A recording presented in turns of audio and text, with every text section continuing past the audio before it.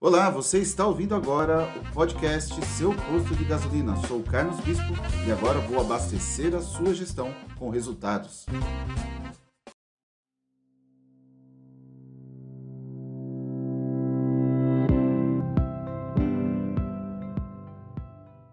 Investir em um posto pronto ou simplesmente fazer ele do jeito que eu gostaria, de acordo com as minhas ideias e, por sua vez, construí-lo do zero.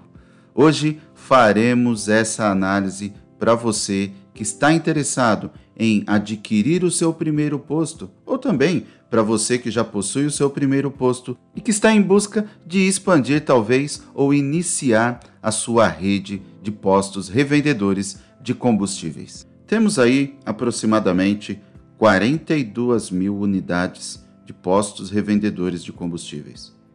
O que eu costumo dizer sempre é o seguinte: que em determinado momento que alguém identificou ali, aonde está construído hoje aquele posto, uma eventual oportunidade de negócio, para atender talvez uma demanda reprimida, para atender talvez uma, um distrito industrial que foi construído recentemente, ou o desenvolvimento populacional, enfim, algum aspecto criou essa expectativa de que esse posto, se fosse construído ali naquele momento, com certeza ele teria um retorno de volta. Porém, dentro desses 42 mil postos, claro, obviamente, nem todos saíram conforme o planejado. Posso dizer que boa parte desses 42 mil postos tiveram as suas expectativas frustradas. Exatamente. Porque simplesmente não atenderam a expectativa. Para você ter ideia, nos dias atuais, converso com muitos revendedores, chegando alguns dizerem que investiram muito dinheiro, mas que hoje não está tendo o retorno necessário. E aí é claro que para se construir atualmente um posto de combustível, deve ser feito um estudo, mas muito, muito, muito, muito atencioso. Porque não basta você ter um sonho de construir um posto. Não basta você achar que tem um terreno que de repente já está ali na sua família. Não basta você identificar, andando por uma avenida, que existe um terreno que se encaixaria certinho como um posto. Não é essa a análise. Não é você tentar enquadrar o mercado naquele terreno, naquela área, mas sim tentar enquadrar aquela localização num ponto ideal e necessário para ter um posto de combustível que, por sua vez, vai trazer o seu retorno esperado. Por outro lado, também é verdade que talvez aquela expectativa de retorno daquele investimento, daquele posto, possa ter sido ultrapassada. De repente, você fez um estudo é, em que fosse na, no auge da sua maturidade, que existe esse período que eu conto mais à frente, que pudesse atingir uma meta de vendas de 300 mil litros. Esse mesmo posto, que tinha essa previsão de 300 mil litros, pudesse estar vendendo agora 600, 800, até 900 mil litros. Mas, Carlos, isso é sorte? Pode até ser a sorte, mas é claro que primeiramente estuda-se potencial. Não dá para afirmar categoricamente, em contas precisas, que você vai cravar ali um potencial exato de uma galonagem a ser atingida mensalmente. Mas é possível você identificar que existe um tráfego suficiente para poder ter uma conversão de abastecimento, de oportunidades de abastecimentos no seu posto. Então é claro que assim como todo um negócio, um estudo de geomarketing deve ser feito, um estudo geográfico, ou seja, um estudo ali da região onde você pretende construir esse posto, se não existem outros postos, qual que é o perfil da comunidade que está ali? Existem já postos com bandeira, existem postos com marca própria, enfim, isso é um estudo que antecede você a ter sucesso ou não nesse empreendimento. É, tempos atrás eu recebi uma ligação de um revendedor em que ele disse: Carlos, eu não sei mais o que fazer. Eu investi aproximadamente 2 milhões e 300 mil reais na construção do meu posto. E por sua vez, hoje, já passado aí oito meses, eu não consigo fazer ele passar de 120 mil litros de venda de combustível mês. É de certa forma, sim, muito temeroso ouvir isso. É muito desconfortável ouvir isso. A expectativa daquele empresário não era que isso fosse alcançado. Mas isso é comum, isso não é nada que é fora do normal.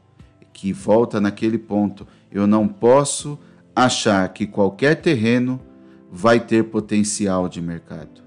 Eu tenho que ter uma localização que tenha uma necessidade, que exista uma possibilidade de demanda de consumidores necessitarem desse meu produto, assim como é uma análise de qualquer outro segmento do varejo.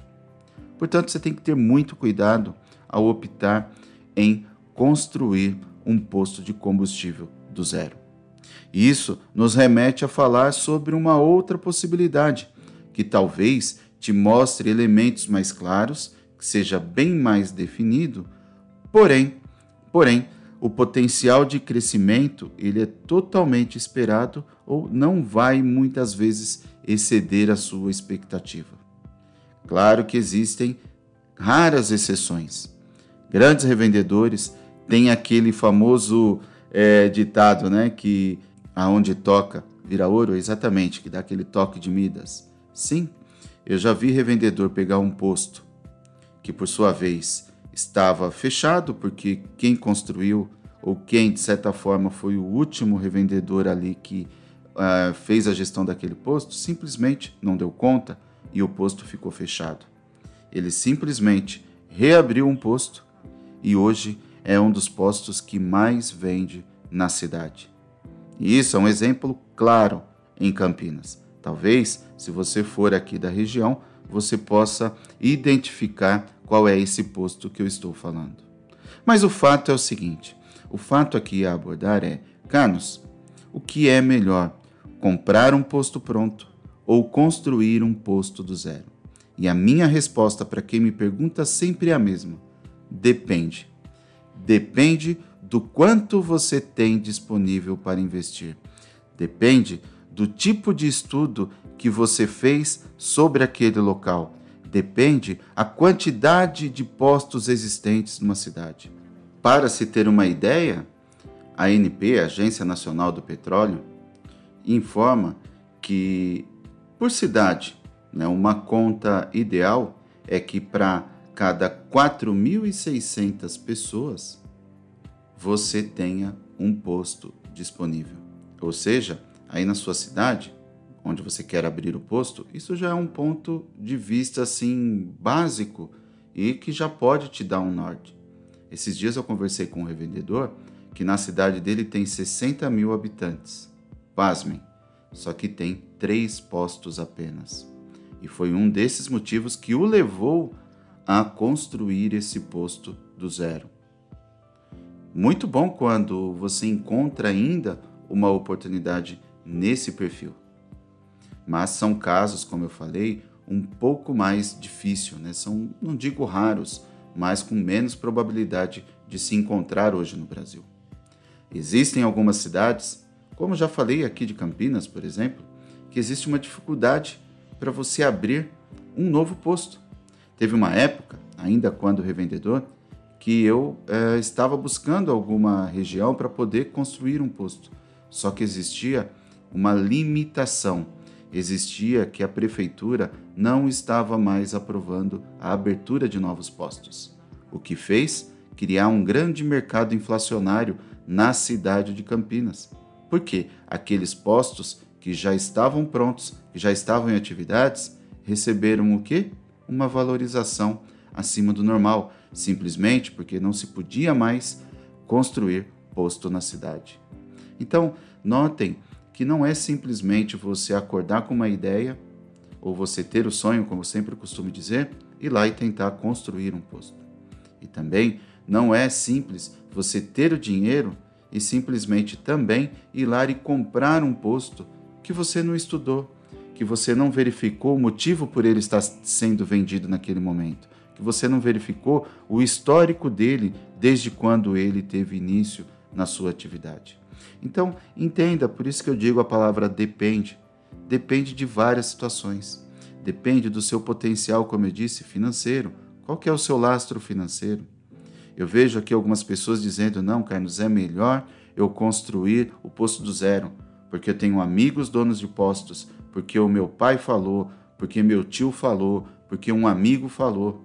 E por sua vez, ele aventura, ele cria toda essa barca que depois acaba afundando. Porque ao final da obra, ele não tem mais dinheiro para fazer o mais importante, que são os últimos reparos e instalações para iniciar o posto, e por sua vez fica desesperado atrás de financiamento. Então, o dinheiro que ele investiu até o momento não foi suficiente para poder colocar o posto para funcionar. E isso também é uma grande decepção para o revendedor. Existem outros casos também de revendedor que demorou cinco anos para poder colocar o posto dele para funcionar. E isso não são casos isolados, não. Talvez não tanto nessa proporção de cinco anos, mas no mínimo, no mínimo, no mínimo, um posto para estar funcionando, devido às suas burocracias, das suas etapas que depende do avanço de uma para poder seguir para outra, dentre elas a parte ambiental, a parte de registro na INP, a parte de abertura da empresa, a parte de constituição do CNPJ, a parte de você conseguir uma licença prévia, uma licença de instalação, uma licença de, de é, operação, tá? Não coloquei aqui para você a ordem exata, mas para você entender que existem várias etapas. E isso muitas vezes acaba travando. Isso muitas vezes acaba fazendo que um posto entre em operação depois de dois anos que se começou a fazer a terraplanagem. Então é importante que você entenda esse seu momento financeiro, tá bom? é, é importante que você se resguarde. É, é claro que quando você vai comprar um posto pronto, ele também tem os seus riscos. Quais são os seus riscos? Talvez de você ter uma sucessão de dívidas, de passivos financeiros, passivos tributários, passivos trabalhistas, ou até mesmo você assumir um passivo ambiental. Que eu já vi alguns casos, principalmente de postos mais antigos, que eram na época contaminados porque não tinham é, toda essa regulamentação que tem hoje, a exigência, o cuidado que é necessário hoje. Então, antigamente, postos que tinham como seu principal foco diesel, basicamente, é, tinha muito problema de contaminação de solo, que é a contaminação é, do lençol freático, que é o que se constitui esse passivo ambiental. Então, notem que nenhuma das opções vão te agradar 100%. Nenhuma das opções vão te cobrir do risco. Nenhuma das opções também vão te limitar a você ganhar dinheiro. Como eu disse, pode ser que você adquira um posto que era mal operado, que não tinha gestão, que foi sub, sub, submensurado, né, que faltou expertise, que foi ali largado, foi administrado de qualquer forma, e revendedor experiente assumiu esse posto, comprou esse fundo de comércio e fez o posto vender muito. Ele também teve o seu ganho, também teve o seu expertise. Então, é, é fato que depende muito. Depende muito do capital. Tá? Como eu disse, um posto hoje para se construir, posto médio, tá legal? Para se vender aí uns 150 mil litros aproximadamente, você não vai gastar menos que 1 milhão e 300 mil reais. Isso é um fato mínimo. Isso em questão de potencial de estrutura, ou seja, para se vender um posto que é 150 mil litros, minimamente tem que ter uma determinada estrutura. E essa determinada estrutura não vai custar menos, como eu disse, de 1 milhão e 300 mil reais. Tá bom? Vão ter postos aí que vão custar muito mais, dependendo, um posto de rodovia, um posto que seja construído junto com um restaurante, né? ou um posto na cidade, que também tem um terreno maior, e também são construídas, por exemplo, lojas, espaços para serem sublocados. Então existe muito um estudo de viabilidade, como eu sempre digo, a ser feito. Então, antes de você optar em construir ou comprar, um estudo deve ser feito. Esse estudo, como eu disse, de 4.600 pessoas por posto de combustível é legal, mas um estudo também de tráfego, ou seja, a quantidade de veículos que vão passar na frente desse posto. Qual que é a possibilidade de conversão? Ou seja, de todos aqueles veículos que passam por dia, quantos por cento daqueles próprios veículos vão fazer a manobra e entrar no seu posto? Tá bom, Carlos, entendi toda essa sua análise é, sobre uh, as duas opções entre construir ou comprar um posto pronto, comprar um fundo de comércio. Mas separa aqui para mim, faz um resumo objetivamente de, das duas opções. Quais são as vantagens e desvantagens de cada uma das duas? Então vamos lá. Como eu disse, depende, e esse depende vai muito ser atribuído à análise dessas vantagens ou desvantagens. Falando primeiramente pela construção do posto do zero. Quais seriam as desvantagens de você construir do zero? Como você pode ter percebido, talvez um investimento mal dimensionado, um estudo mal feito, né? ou seja, que não abrangiu exatamente a realidade. Ou a falta, muitas vezes, de capital. Porque se você não fez a sua previsão de investimento, quanto você estaria lastreado, você não conseguiria, de certa forma, terminar, concluir esse posto para colocar em operação. Uma das principais desvantagens é, muitas vezes, a demora para o retorno do capital investido. Se você tem o dinheiro contado para investir em algo e você vai destinar ao posto, talvez a construção também não é a melhor oportunidade para você. Então você tem que ficar muito ligado nessa questão de cronograma físico, financeiro e também do retorno do seu investimento. Então, na construção de posto, você pode entender que é um pouco mais moroso, demora um pouco mais para você poder retornar esse capital investido. Tá joia? Vamos aos pontos positivos ou as vantagens em se construir o posto. Primeiro é que você pode, como eu disse, um exemplo anterior, identificar uma cidade, um local onde existam poucos postos por habitantes.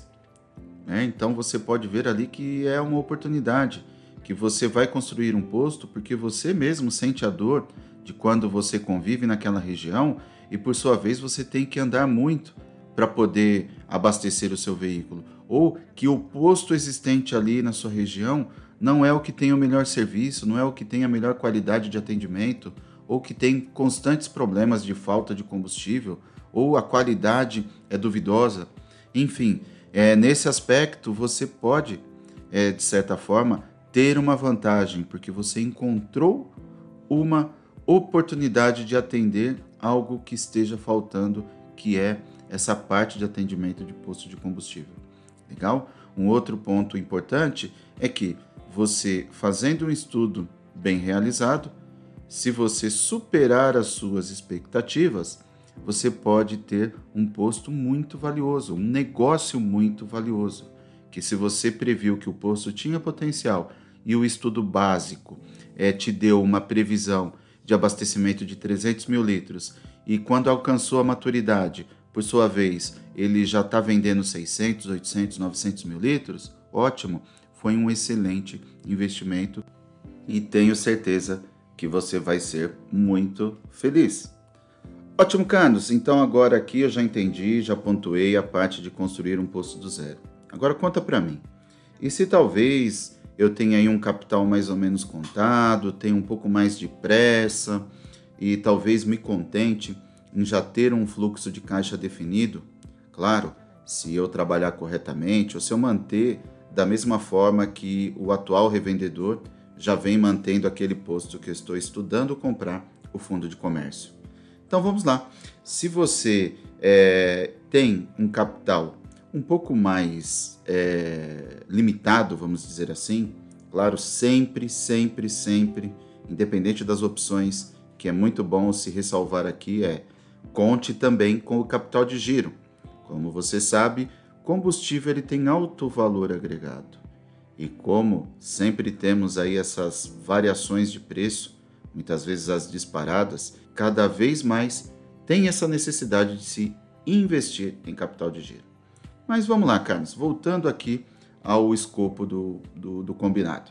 É, fala para mim então agora as vantagens e desvantagens para se comprar um posto é, pronto, ou um posto fundo de comércio, ou também um posto com imóvel e tudo. Então vou te contar agora, rápido. Então, isso, obviamente, garante que você faça um bom investimento. E também um outro ponto, uma vantagem quando você compra um posto pronto, é que talvez você não tenha necessidade de investir 1 milhão e 300 mil reais para ter um posto que venda aí seus 150 mil litros em média.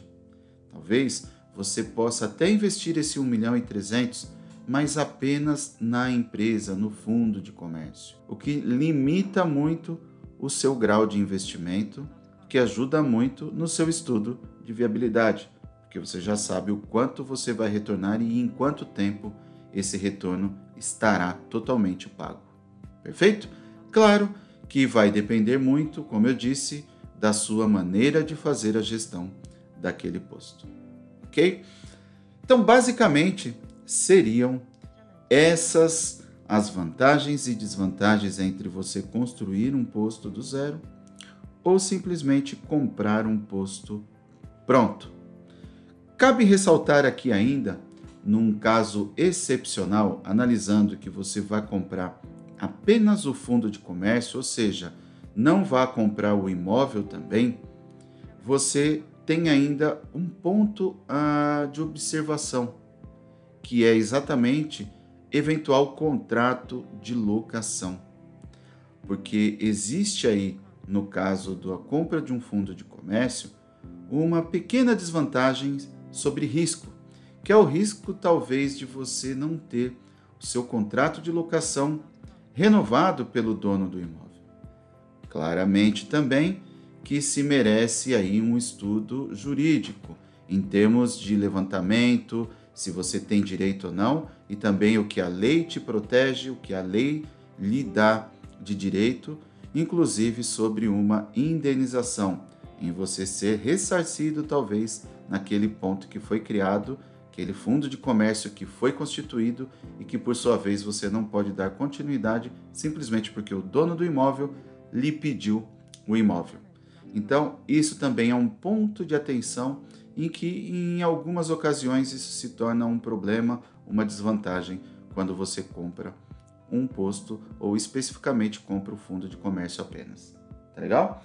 Então, olha só, te passei aqui um bom cenário, te passei aqui informações básicas que, claro, não vão cobrir 100% das diligências, das observações é, completas e gerais do mercado, mas, em via de regra, 80%, como costumo dizer, de pontos aí que devem ser observados foram cobertos.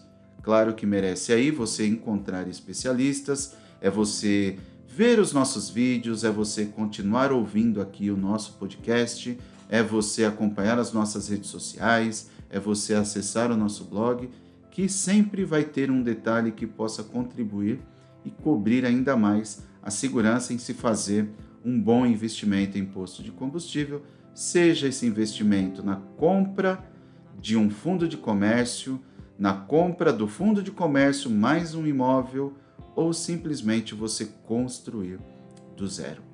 Bom, esse episódio já está se prolongando, acredito que eu consegui cobrir o que você precisa.